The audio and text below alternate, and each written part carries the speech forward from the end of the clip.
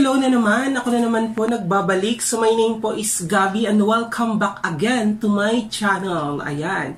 So kung bago ka pa lang dito sa akin channel, huwag mong kalimutan mag-subscribe. Tapos i-click mo yung tiny bell dyan sa may gilid para updated ka sa mga susunod kong upload na videos. Nagulol pa ako doon. So syempre bago po natin umpisahan tong araw na to, so syempre mag-shoutout po muna tayo. Ayan. So shoutout po kay Lovely Garay Bandrang. So sa babaitang to, ito yung babaitang sobrang ganda. Ayan, na shoutout na kita. So kung sino man po yung mga nangangailangan ng mga home credit na cellphone, medyo nawawala-wala yung ilaw ko. Ayan. So, naka-assign po siya sa Togigaraw. Kung sino man po ang mga nanonood po ng video to ng mga taga Isabela at Togigaraw. So, pwede po kayong pumunta po dun sa SM. Naka-assign po siya sa may Guanson po yata. Hindi ko po sure. Pero hanapin niyo po siya doon. Ayan. Kay Lovely Garay Bandrang, shout out sa'yo. Ayan. So, bago po natin umpisahan tong araw na to, so syempre ang gagawin po natin ngayong araw na to eh mag-unboxing po tayo ng bago po nating biling camera. Oh, yes. So, syempre po nakabili na po ako ng bago ko pong camera. So, syempre, so saan ko po ba siya nabili at magkano ko po po siya, magkano ko ba siya totally nabili? Ayan. So, ito na po yung nabili po nating camera. So, ayan na siya. So, ayan na siya. Ito siya.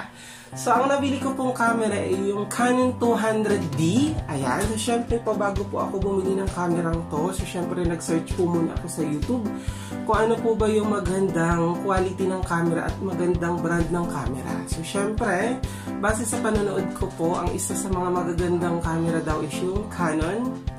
Ito, base sa mga sikat na YouTuber, maganda daw yung quality ng camera. So, ang Canon na to, may free po siyang 16 gig na memory card at saka may kasama na rin po siyang ano po bag ng Canon. Kaya lang po yung bag po ng Canon eh, hindi ko po nadala kasi nga po nandito po ako sa Bicol. Naiwan ko po dun sa bahay po namin dun sa Manila. So, hindi ko po siya tatangin nadala. Ito lang po yung nadala ko. Nakalimutan ko po siya. Ayan. Tapos, ang features po nito is meron po siyang Wi-Fi. And then, 24.2 megapixel na rin po siya with Wi-Fi. Tapos, ang nabili ko pong kulay is silver kasi wala na totally silang kulay black. So, silver na lang po yung kinuha ko. So, saan ko po ba ito nabili? So, kung ikaw yung bagong YouTuber na nag-iisip pa lang kung saan ba yung mga murang bilihan ng camera. So, ang mga murang bilihan po ng camera sa may Hidalgo po sa may Quiapo sa may Henry's. Marami totaling butik doon, so pwede kang mamili. Pero ang sikat na mga bilihan talaga ng mga sikat na YouTuber sa may Henry's talaga totally. Kasi maganda talaga yung quality ng mga camera nila doon. Binili ko to sa may Henry's malapit sa may SM outlet sa may Hidalgo. Ito, ito siya. Ayan. So, yan yung bili nating camera. So, syempre, hindi ko pa totally siya nabuksan. So, magkano ko ba siya totally nabili? So, kapag sa mall mo siya totally nabili, maa-avail mo siya ng nasa ano to, 39,000 something or 40,000 kapag nasa mall. Pero kapag doon ka bumili sa may sa Henry's, ayan, ma-avail mo siya sa halagang 36,998 po. Pero since naka-promo po siya, na-avail ko lang po siya sa halagang 31,448. Ayan. So yung 31,448 po, ang warranty po niya is 1 year. Tapos meron na rin po siyang plus 2 years na warranty kahit sa ang outlet po ng Canon Service Center. Pwede mo siyang ipa-service. Unlike dun sa mga iba, ibang boutique, halaga lang niya is 28,000. Pero yung warranty niya, dun lang sa boutique. Hindi mo siya pwedeng dalhin sa mga Canon Service Center. Kaya dito na lang ako at least sigurado in case mo na magkaroon man siya totally ng defect, may habla ako. Tsaka meron din siyang kasamang ano, gift certificate na worth 1,000 na pwede mong ibili sa mga ano, pang, uh, pag bumili ka sa mga SM department store, ganyan. So, syempre, bubuksan na natin siya kung ano po ba yung laman niya sa loob. Ayan. So, ito yung kahon. So, ito siya. Pagbukas mo totally niyan, so, syempre, ang sasambulat sa'yo is yung module o yung manual. So, ito yung manual at saka syempre yung pangmalakasang bubble wrap na totally ano, pinuputok totally kasi pantanggal ko ng stress eh, lalo lalo na kapag galit ka. Lalo yung gawin siya. Nung bata ako, pinag-aagawa namin ito ng mga pinsan ko para na okay. Hindi na siya pumutok. So, syempre, itatabi natin tayo siya pumutok. masarap siya totally, ano, putok-putok yung pagtanggal ng stress. Pag stress. So, itatabi natin to kasi kasama to sa ano, binili natin. Ayan. Hindi naman siya ganun kamura. Lalagyan ng memory card. Saka yung module, so dito mo malalaman lahat ng features niya. So, syempre, eh, hindi tayo magbabasa niya. Tatabi natin yan. Ayan, may aso. Nakakaloka yung aso sumasama sa video ko sa vlog ko. So, syempre, ito na po yung laman niya. Ayan, so ito po yung laman. Yan po siya. So, syempre, ayan, nandito na po yung wire niya. Ang wire po ito ay pang ano sa ano, charger. Ito po siya pang haba-haba. Nakalagay po kanon. Yan. Tapos, meron na rin siyang ID lace. ID lace ba tawag dito? Lace. So, yan grading po siya. Kakulay po nung camera natin na silver. So, nakalagay po dyan Canon. Ayan siya. So, tatabi natin yung syempre. Tsaka, syempre, yung battery. Ito. And then, yung charger, syempre. Ito yung charger niya tsaka plastic. Itatabi natin yung plastic kasi kasama sa binili natin. Tsaka syempre yung pinaka main event, yung camera, at tsaka yung lens. So itatabi natin itong mga to, mga kalat na to. Tatabi natin yan dito. So ito po yung camera na nababalutan na naman po ng bubble wrap. Na syempre, puputok-putokin natin yan. Yan. Ang tanggal ng stress, lalo na paggalit pa din sa jowa mo. Nakakaloka yan. Tatabi natin dito kasi kasama yan sa binayaran natin. Then pong plastic. So ito po yung camera. Yan. So ito na po yung camera natin. So ito pong camera is silver po siya totally. And then may kasama na rin po siyang lens. At may pa-bubble wrap na rin po siya. Siyempre, may pa-plastic din po. Kakaloka ang init. Tag-ulan na pero totally may init pa rin. Ayan, punas-punas muna tayo ng pawis. Para hindi hot. Ang init no kahit tatag-ulan na, parang summer pa rin totally, pero laban pa rin natin yan. So, ito po yung ano niya, yung lens. Then, ito po yung camera. Ayan. So, syempre, wala na pong laman yung ano, may laman pa ba ito? Check natin kung may laman pa siya. Parang wala na po ito yung laman po. Wala na siya. Wala pa. Matibay-tibay din yung kapo. Ayan talagang pangmalakasan. Pangmalakasan, matibay. So, kasama yung sa binayaran natin itong ito. Tatabi natin. Siyempre. So, siyempre, dito tayo sa name. Yan. Oh! Ito na. So, ito po. So, syempre, bago natin syempre ito mapagana, so, ilalagay po muna natin yung battery. So, bubuksan natin to. Di po ako ganun kagaling sa camera. So, isa-search ko pa po sa uh, YouTube ko ano po ba yung mga features nito kasi wala talaga ako totaling idea kung paano to paganahin. Tinuruan na ako ng salesman pero hindi ko po maintindihan yung pinagsasabi ko. Kaya magsa-search po muna tayo mamaya. So, ilalagay natin to dito. Tapos, tutunog siya syempre. Sabihin, okay na siya. So, sasarado natin. So, umiilaw na siya. Siyempre, tatanggalin natin itong harapan. Ayan. So, ilalagay po natin yung lens. Then, kailangan daw, itapat mo daw siya dun sa white. Tapat natin dun sa white. Then, make sure daw, kailangan may marinig kang tumunog.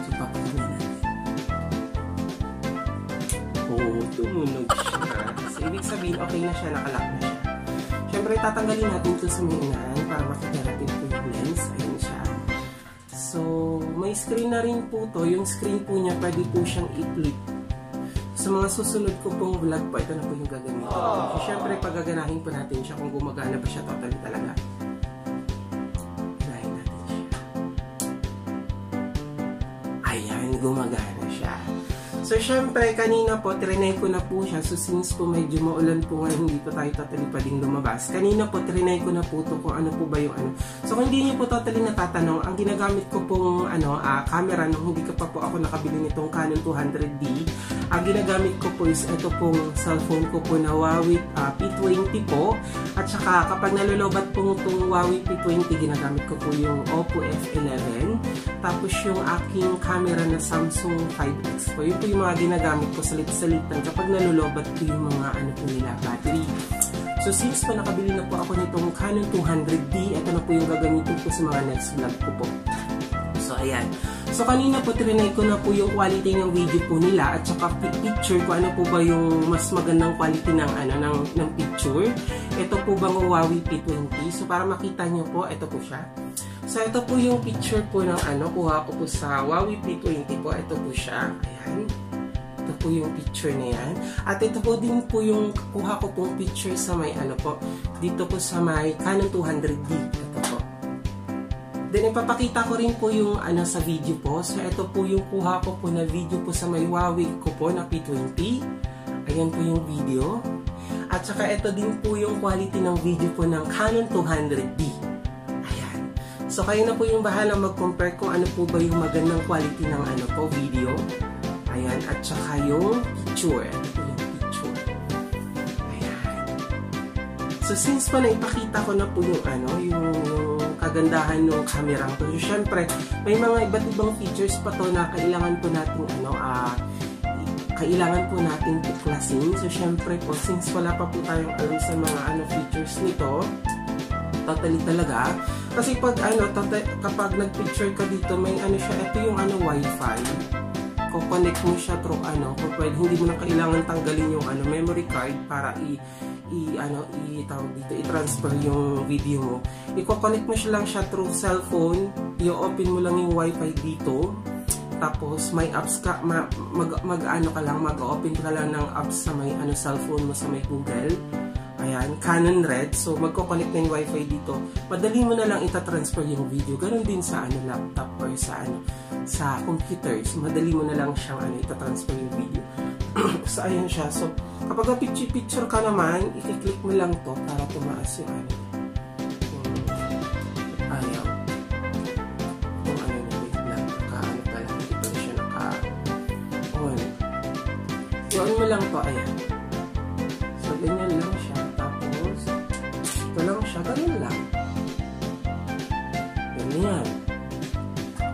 so yun po so ilalak na natin siya Ayan. So, yun po yung ano, features ng camera to, Canon 200D. Ayan.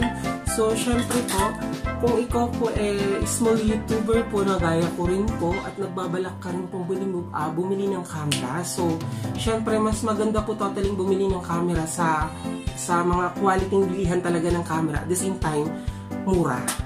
So, may re-recommend ko po, syempre po, mas maganda po pag bumili po tayo sa may Hidalgo, sa may Quiapo. So doon po talaga bilihan ng mga murang camera at doon din po bumibili ang mga sikat po ng mga YouTuber.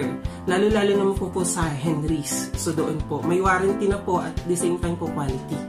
At kung ikaw naman po yung YouTuber na gustong makabili ng mga gantong klaseng camera po eh totally pag-ipunan mo siya totally talaga kasi hindi naman totally to ganun kamura ako nga po eh, medyo namahalan po pero nilaban ko pa rin po siya kasi nga po eh, magagamit ko rin po siya sa ano mag-asa, magagamit ko rin po siya dito po sa pag-YouTube ko. Makakapag-upload na po ako ng mga ano, ng mga quality video po. At the same time, may iniisip po akong bagong negosyo ko. Ginegosyo ko po kaya medyo magagamit ko rin po siya. So investment na rin po po. Ayan. So kung ikaw yung ano po, inuulit ko po, kung ikaw yung small YouTuber na nag-iisip po na bumili ng camera, mas maganda po din sa Hidalgo. Quality po yung, yung camera do at the same time mura po.